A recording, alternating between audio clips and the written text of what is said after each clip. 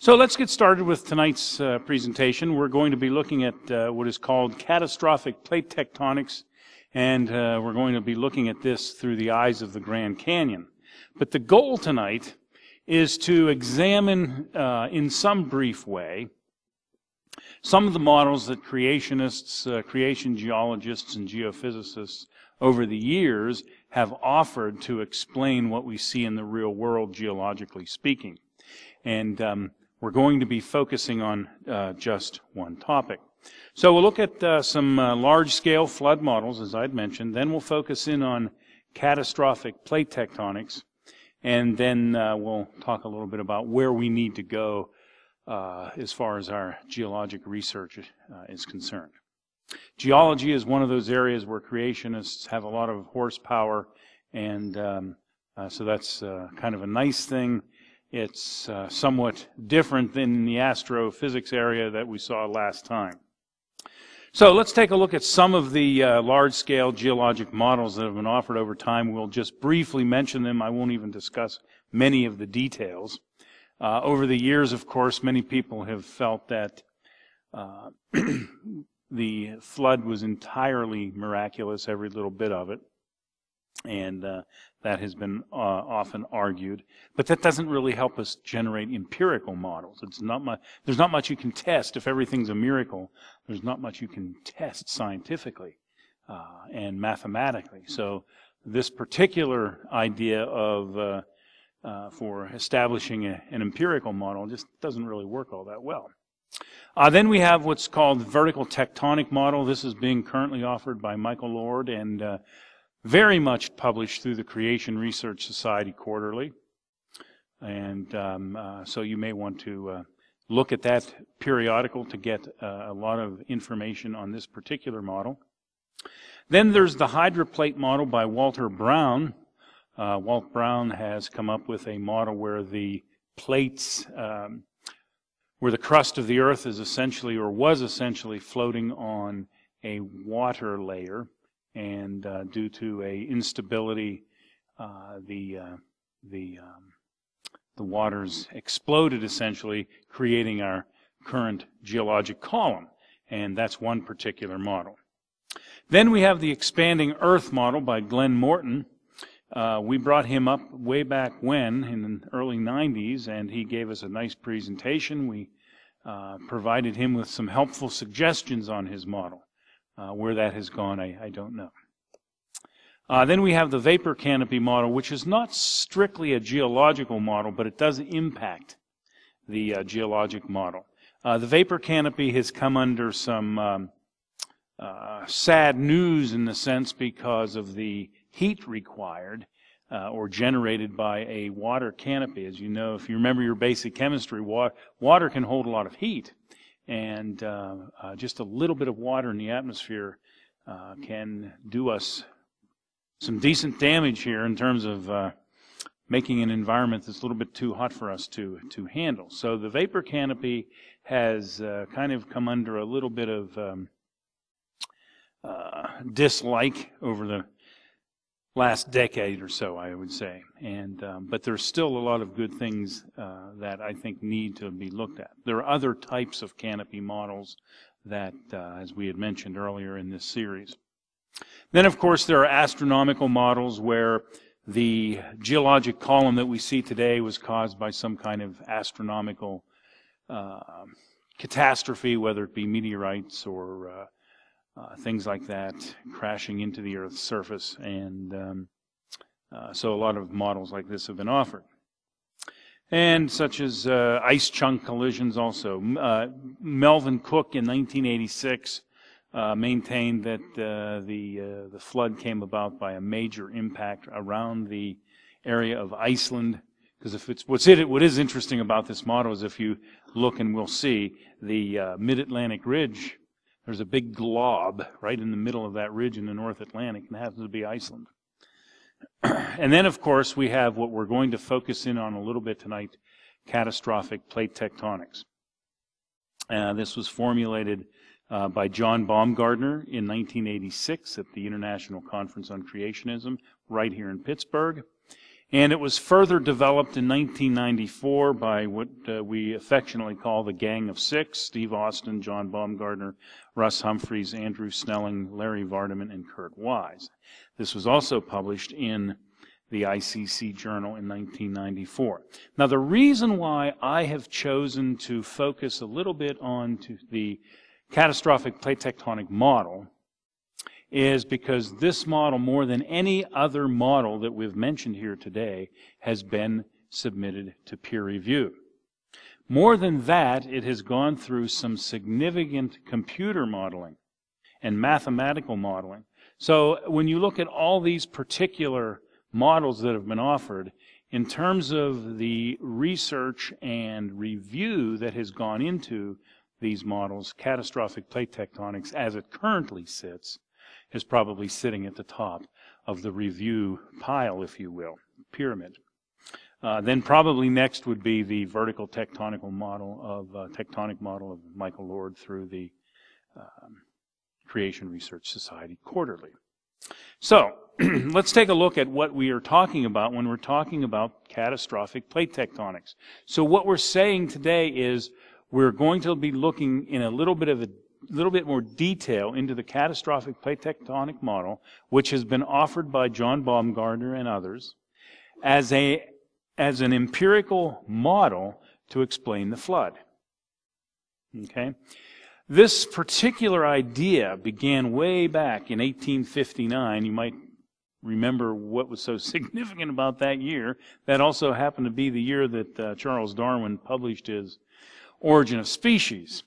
And Antonio Snider also published a book, and in there he opted for a uh, movement of the plates that we see here in this particular uh, photograph, that the uh, pre-flood continental glob, if you will, on the Earth was a single land mass and was split apart at Noah's flood in the configuration that we essentially see today. The interesting thing is this was 1859. And uh, so it's been around for a long time.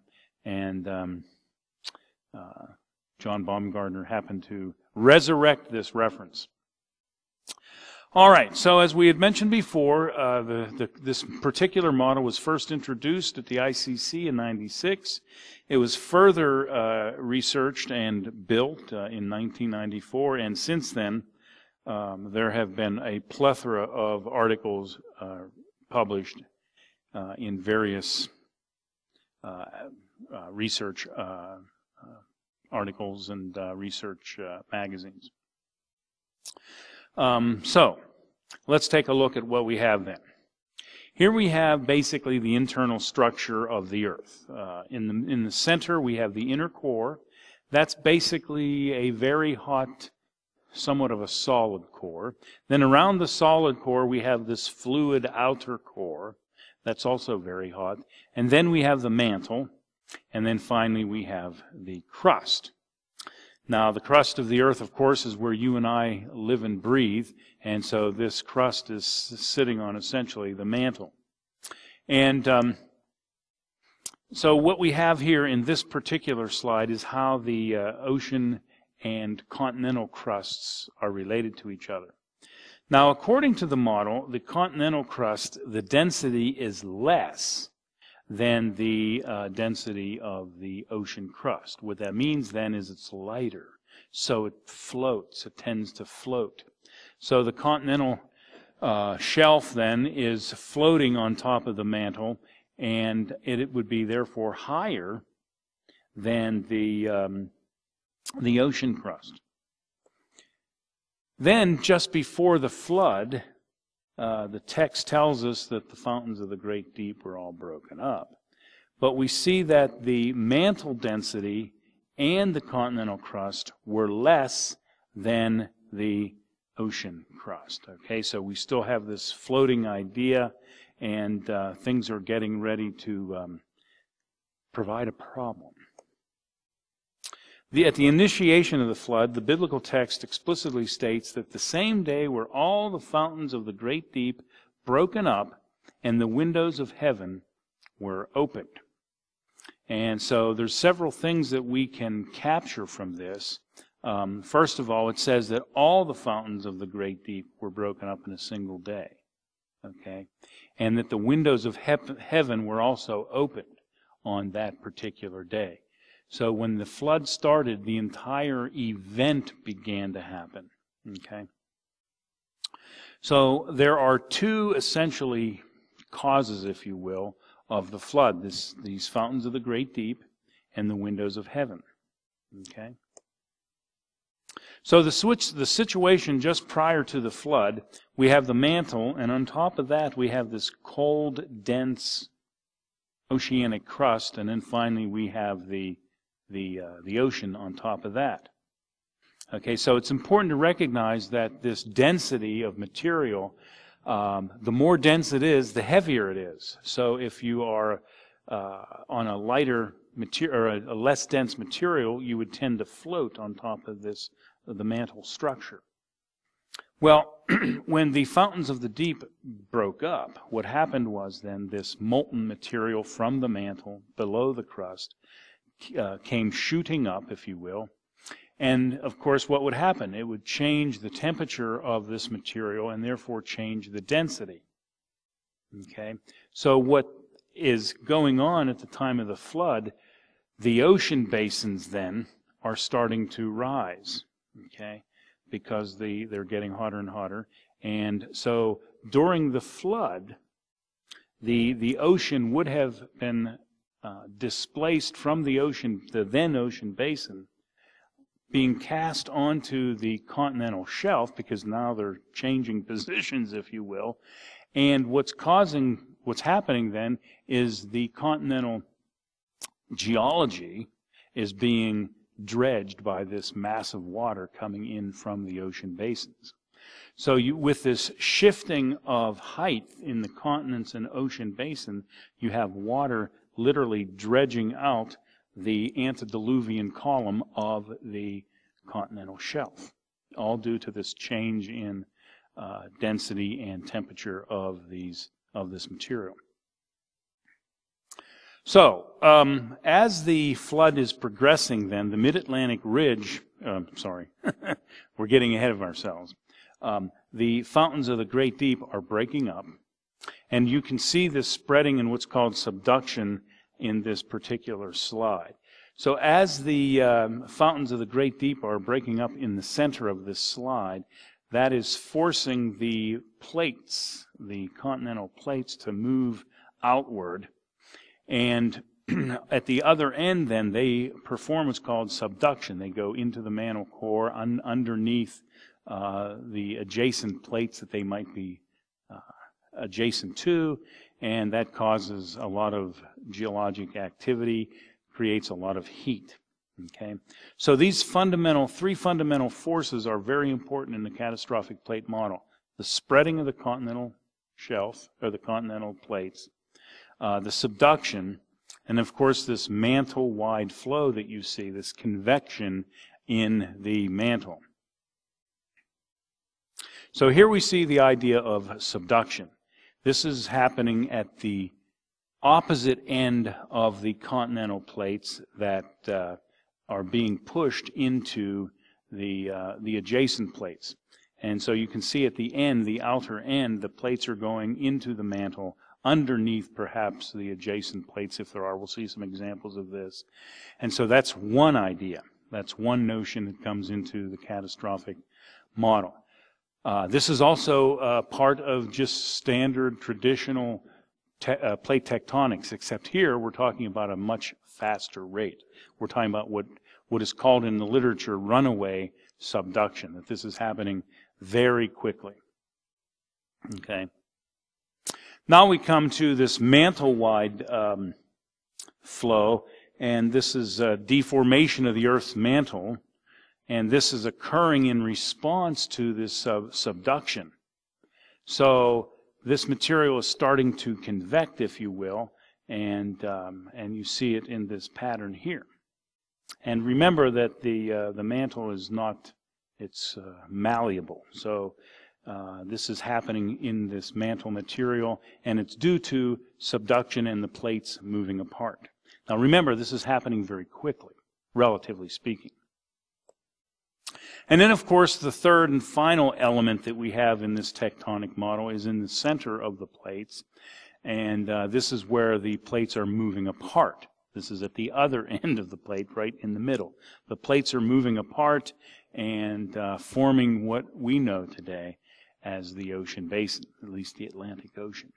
Okay, so so this is important. So in the in what's happening here is in the middle of the shelf where the um, plates are spreading from, material is being added to the ocean basin through the through the uh, what we call the mid-Atlantic ridge. And material at the other end where there's subduction occurring, material is taken out. Okay? So that's important to real, remember. In fact, we saw this in one of the earlier sessions when we looked at uh, some uh, uh, some of these non-radiometric processes, if you remember, uh, how old the Earth is due to certain things, and we found that one of the ideas is uh, one of the examples is material uh, accumulating in the ocean. And one of the uh, ways in which material is taken out of the ocean is through this subduction. Material is added through the uh, riverbeds. So while the tectonic activity is spreading, it's adding material in the center of this great landmass. So what is going on here? I just have an example here. Uh, I don't know if you can see everything. But if you look at those little arrows in this uh, particular slide, it basically gives you the direction in which the continents are moving. So you can see if you look at South America and Africa, South America is moving southwest. Uh, Africa is kind of moving in a rotation way, uh, manner, but it's also moving uh, somewhat to the east, as you can see if you notice the arrows on the right of the continent, so it is kind of in a rotating fashion. You can see Antarctica moving away from Africa toward the south, and North America then you can see moving northwest away from uh, Africa. And so you can see how these arrows indicate the direction that these particular continental plates are moving. Now the thing to remember is that the areas of subduction that we see today, for example, in the Pacific Ocean, uh, this is where the Ring of Fire uh, exists, right? And these are areas where things are being subducted, plates are being subducted, going under each other and um, causing a lot of friction and creating uh, massive amounts of heat. Unfortunately, you can't see, I guess, uh, the speed at which this is moving. Um, it's moving at uh, several kilometers, uh, so, sorry, several meters uh, per second. And uh, unfortunately, you can't see that on this slide. It's, it's for some reason cut off. But notice the temperature scale here. If you look at the uh, Pacific Rim, you can see where the temperatures are uh, much higher in these areas of subduction, especially in the Pacific Rim, which we still see today. Okay, and you can see some of the um, some of the subduction zones in the Caribbean as well, the, the newly formed Caribbean, I might add. So that is the breaking up of Pangea. When the uh, fountains of the Great Deep broke up, that split the continental shelf, uh, the continental plates, and things began to move apart. Okay? So, that is the general model in a very high level way. And uh, let's take a look then at this continental strata. If this model is correct, if this all happened in this way, let's take a look at what this all means to the geology that you and I are walking on every day. Okay, so here we see um, the geologic column. Now, this column that you see on the right, that is, pretend that's the uh, the geologic column of the flood world, the pre-flood world. Before the flood occurred, that's what the column might have looked like. Okay, so day three um, saw creation, saw the creation of the antediluvian column. And there's several things that we've touched on before that we'll reiterate. The entire antediluvian geologic column was formed in less than 24 hours. Okay? So miles and miles of rock layers, sedimentary layers and so on, were all created on day three. That was before plant life occurred. So what would you and I expect then if we were antediluvian geologists? We would expect to find absolutely no fossils whatsoever in the geologic column that we're digging in, right? Because life occurred after the column was laid down. Now that's an important thing to remember. Keep that in the back of your mind. Okay, so no fossilization occurred on day three. Now, um, those layers that we see, we call that Precambrian. Cambrian is the Latin name for life. And uh, so where you find, uh, where you don't find life in the geologic column is called the Precambrian. No life, before life. Okay, so what, what happened here then? the flood came, and as we had mentioned, the ocean basins rose, the flood waters then catastrophically dredged out the then continental mass, redeposited that material as the as the um, the waters moved about, and then there would have been runoff as the ocean basin then slowly sank. Okay. So, the flood would have ripped up much of the antediluvian geologic column. The previous column would have been redeposited in the form we see today. So, as a result of the flood, the antediluvian column was ripped up, dredged up, and then redeposited in the form that we see today. So there has to be a boundary then that exists between the pre-flood and the flood world or strata. So theoretically, what this predicts is that you and I should be able to dig down and come to a point in different areas. And of course, it would vary from location to location. But theoretically, you and I should be able to dig down and come to the point where we run into rocks that were created on day three, creation rocks. So we're digging through layers that were laid down by the flood and then finally, we hit these layers that were laid down on creation week. So we might expect to find fossils in the flood layers, but we wouldn't expect to find any fossils in the creation layers. And that is called the pre-flood flood boundary. And of course, it might vary from place to place. And you can kind of see this um, well, the, the, the, you can see this in this little graphic here. Um, the, the very bottom strata layers represent pre-flood layers, layers that were created on day three. And then we have this blue section, which would have been um, uh, laid down by the flood, of course, and um, uh, the flood would have dredged down differently in different locations. So you wouldn't expect a nice, even horizontal line throughout the geologic column, right? You would expect, you know, softer material would have been able to be dredged further down and so on.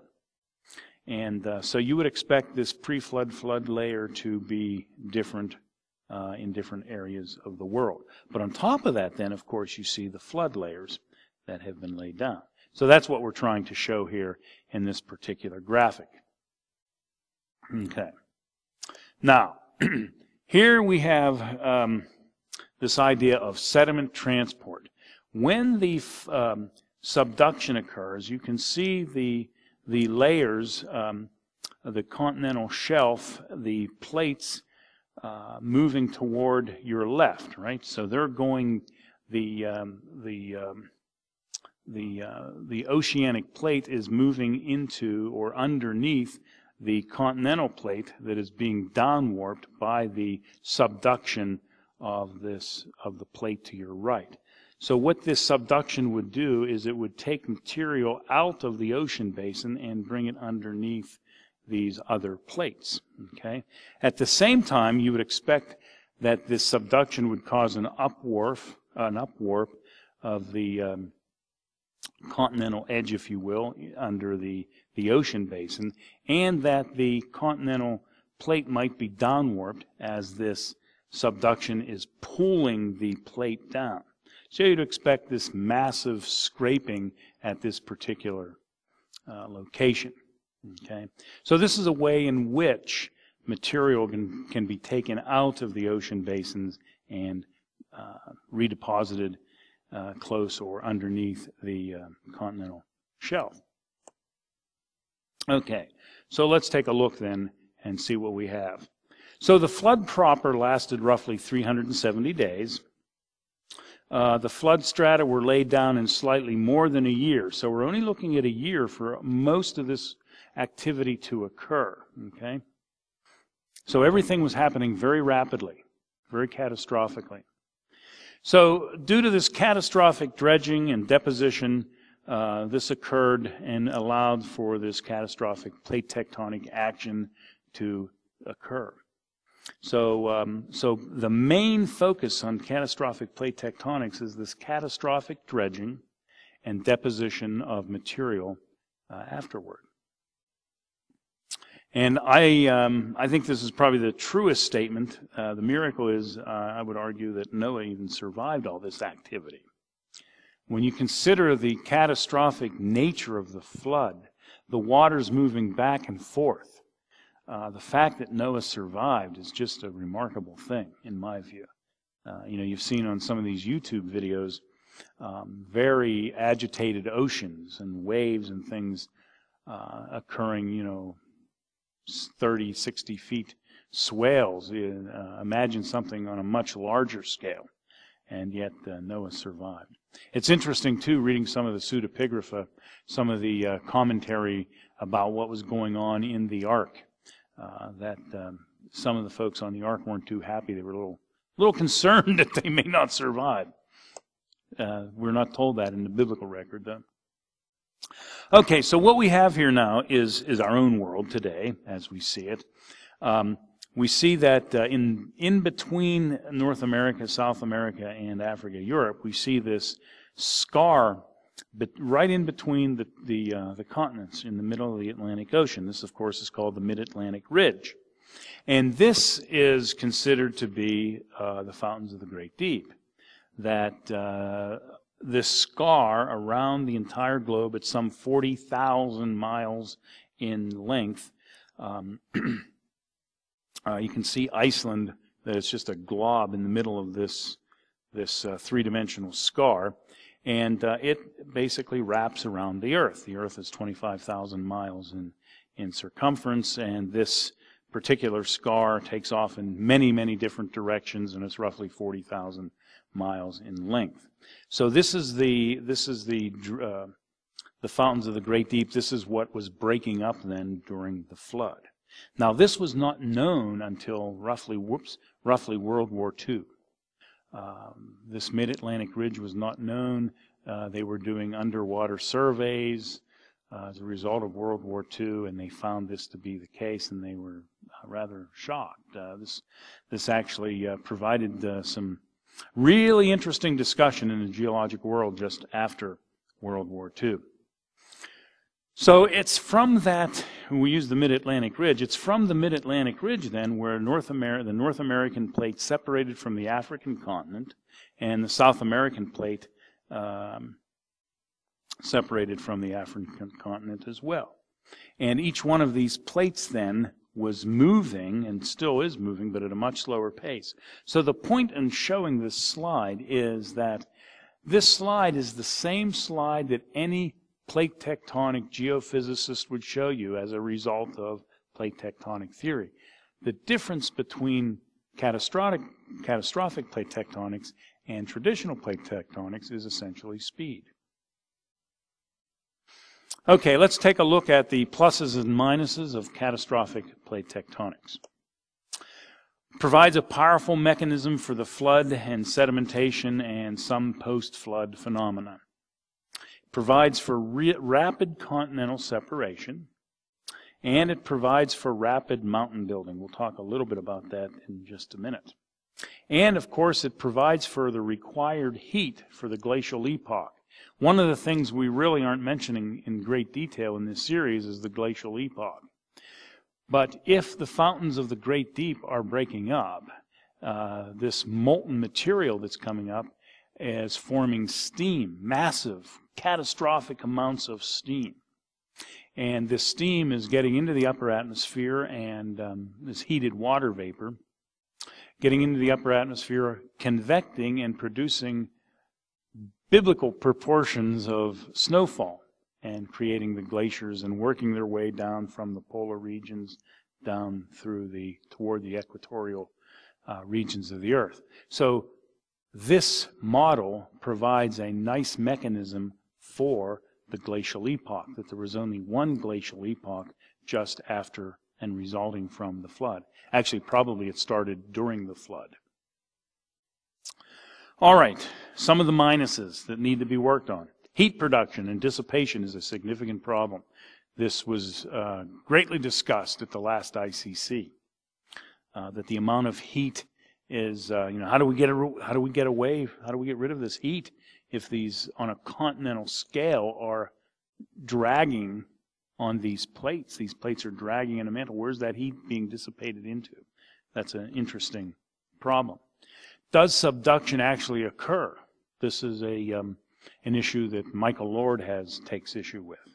Is there a, a lack of mechanism, as Oard claims, uh, on uh, the tectonic model?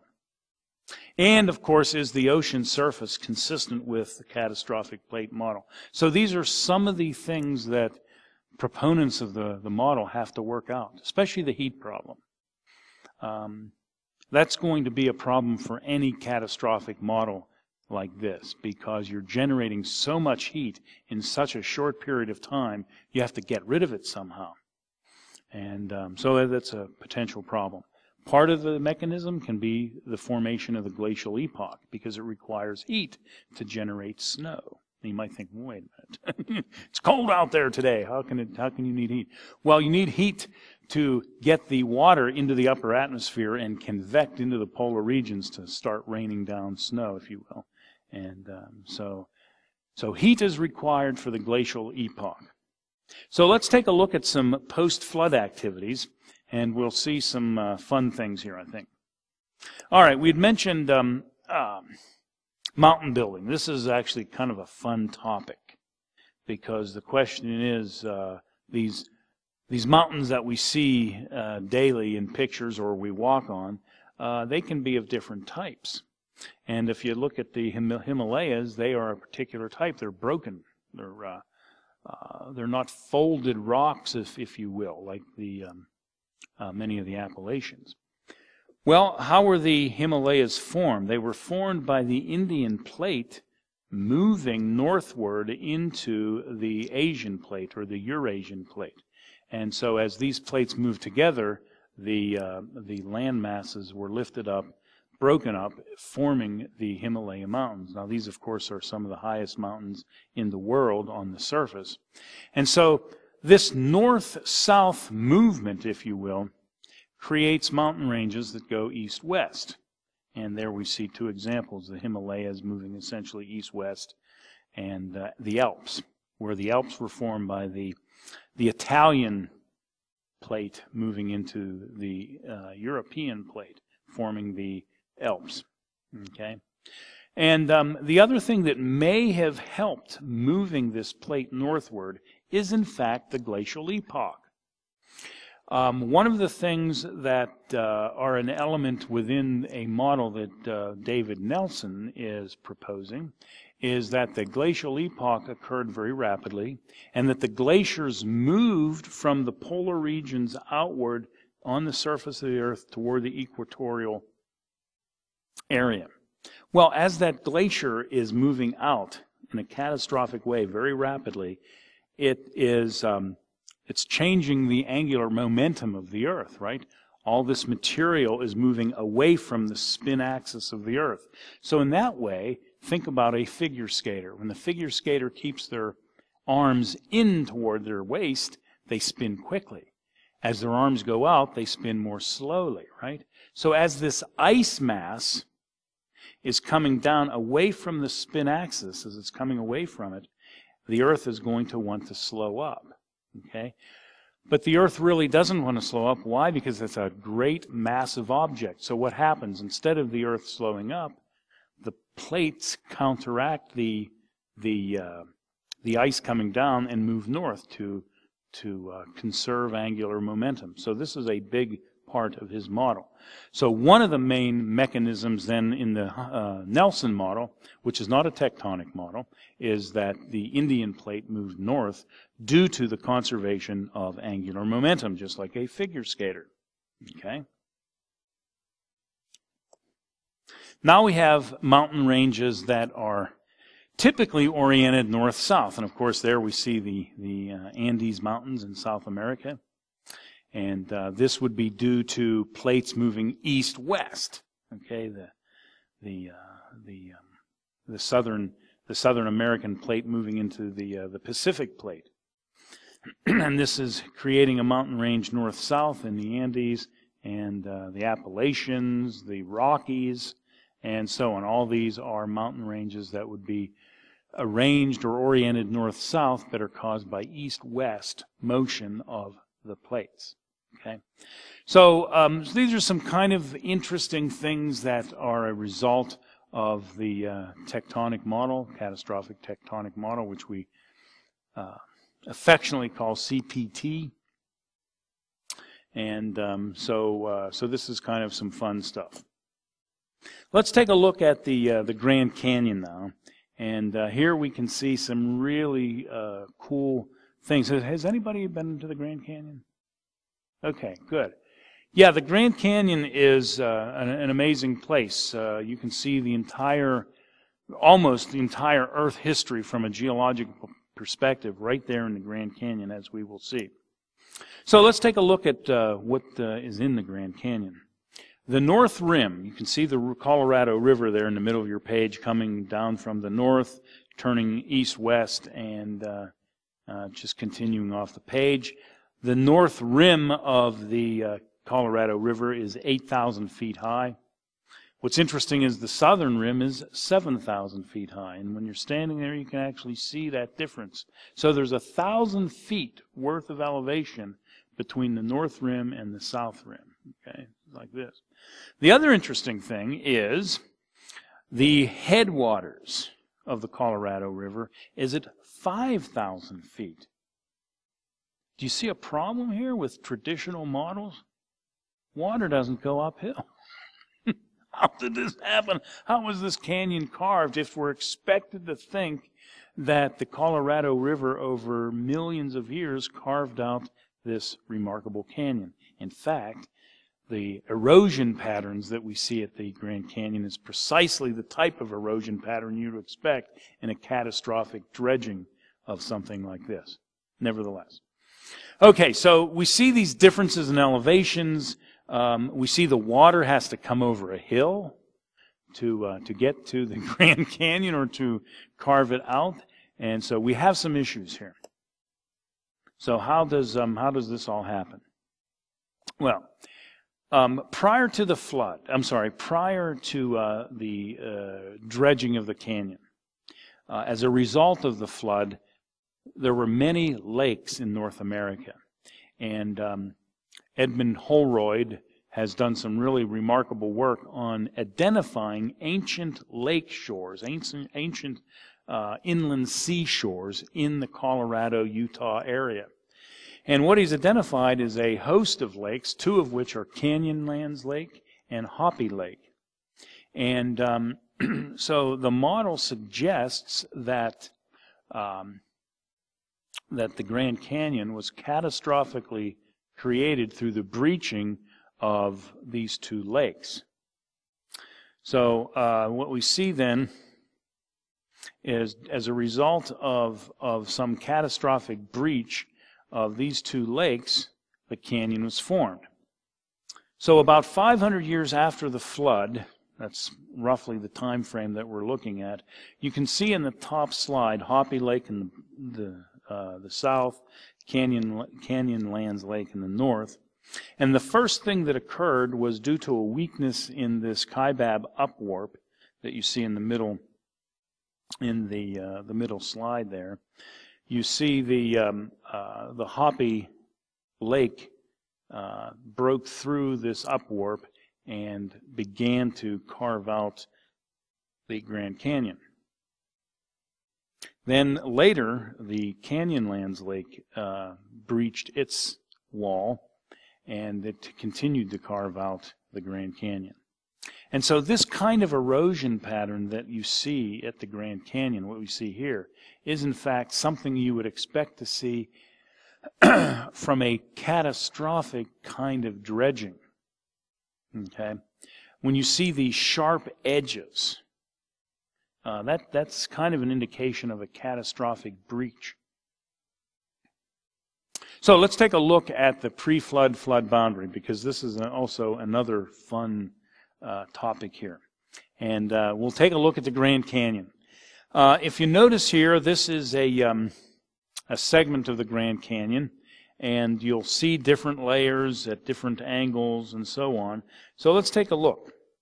Uh, what you see in the left, you see that what looks like a batholith, right, at, at uh, the Zoroaster um, granite. So that pink material there is actually granite. It's an igneous rock. Then above that is this green material called the Vishnu schist and the Bass shale and so on. So these rocks, if you notice, they are upwarped like this, right? But they're also tilted, if you notice. Okay? So due to uh, continental movement, the, the, uh, as the continents are moving east-west, these guys are being tilted like that. Okay, so they're being like you would if you push the ends, uh, to the two ends of a paper together, you get these folds, and that's what's happening here.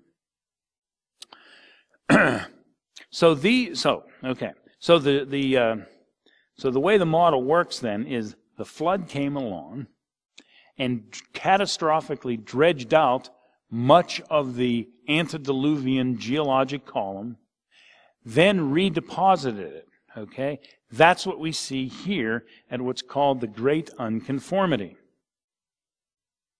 Ah, let me get there. Don't want to go there yet. so if you notice the layers on top, starting with the Tapeats sandstone, those layers are relatively horizontal. They are laying on top of angled uh, strata. Okay?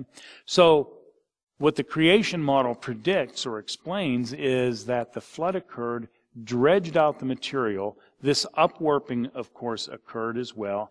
And the layers that we see on top of these angled layers are the layers that were laid down by the flood, the Tapeats sandstone, the Redwall limestone, and so on. All these layers then are flood deposits. Okay? The layers below them are the rocks that were created on day three. Okay? And this kind of situation where you have um, this interruption in the stratigraphic record is called an unconformity.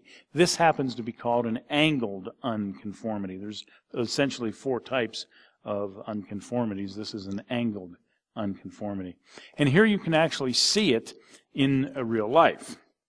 If you notice at the bottom of the uh, slides, you can see the angled layers, and then on top of that, you can see the Tapeats sandstone and all the other remaining layers on top. So you have at the bottom then, you've got rocks that were created and laid down on day three during creation week. And then on top of that, you see flood rocks, and right smack dab where they meet is called the Great Unconformity. So that is when the flood, during the, or through the flood, began to lay down this material during the flood. Okay, so when you look at the Grand Canyon, you can actually see the entire creation model there. It's a, it's a remarkable thing. So let's take a, a quick summary here. Uh, tectonic action formed the mechanism for continental motion and catastrophic upheaval of continental creation rocks. Uh, material was redeposited through massive water action over the continental crust. So, as we had mentioned, due to the ocean basins rising, the water dredged out the the uh, the um, pre-flood continent, and then as the oceans laid down, the water uh, came, you know, back off the the continents and um, back into the ocean basins. So uh, the um, continents were dredged up and then redeposited in today's form. We see post flood activities modified flood deposits, such as the Grand Canyon. The Grand Canyon, the formation of the Grand Canyon is a post flood event. uh, according to the creation model, happened roughly 500 years after the flood, roughly the time of um, Abraham or somewhere in that time frame. So, where do we go from here? Well, we need to continue modeling and simulating this. We need to look at the heat problem. We need to look at some of the criticisms that have been offered by other creation friends where they're using their own models. Uh, we need to look at their models. Maybe there might be uh, uh, elements of their model that we can use, such as the Nelson model. Uh, we can take uh, and apply this model to various geologic features and see how it can explain some of these uh, things. And of course, correlate this model with other sciences such as biology. How does this impact the fossil record? Does catastrophic plate tectonics, the nature of CPT, does it impact uh, how we see the fossil record at all? This might be a worthy topic to look into. And of course, we need to uh, look at other flood models as well and introduce them to the um, uh, peer reviewed literature. So, people who are doing research in some of these other areas, the international conferences on creationism highly encourage them to submit their models to peer review. And uh, that's really the, the best way to get things into the, uh, into um, the accepted creation model. You know, a lot of people are publishing books out there and going kind of a, you know, circumventing peer review. But uh, start publishing in these journals, uh, in the ICC proceedings and so on. And that's where these these uh, folks need to be publishing. So these are some of the references that um, that I would highly recommend reading, especially the uh, 1986 and the 1994 uh, ICC papers written by Baumgardner. Uh, these are well worth the time. And so I'd like to uh, certainly acknowledge some of the folks that have provided information on this particular topic, and I think that the, the beauty about catastrophic plate tectonics, despite the fact we have a long way to go, it does explain an awful lot of what we see in the geologic column. It's not without problems, of course, but it is certainly a model that can be used to explain an awful lot of uh, information that we see, data that we know from the field, and uh, so it's a model that I think that's worthy to pursue. So having said that, let's, uh, let's open up uh, for some questions.